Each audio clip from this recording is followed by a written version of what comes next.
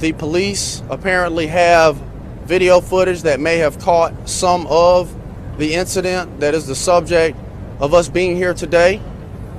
And the family requested to be able to view that video.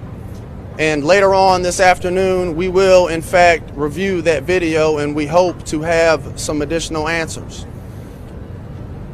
When we look at what happened to Mr. Scott and when we look at what has happened around the country with individuals being shot down and killed by law enforcement, uh, we can't talk about those incidents in isolation because we have to look to the root problems.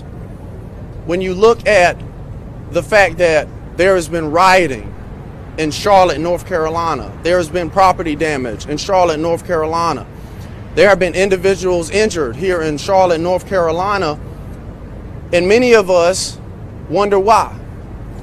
Let me make this very clear. This family, this family does not, does not agree with rioting or innocent individuals being injured or killed. But they do support citizens and their right to voice their frustration, to voice their anger.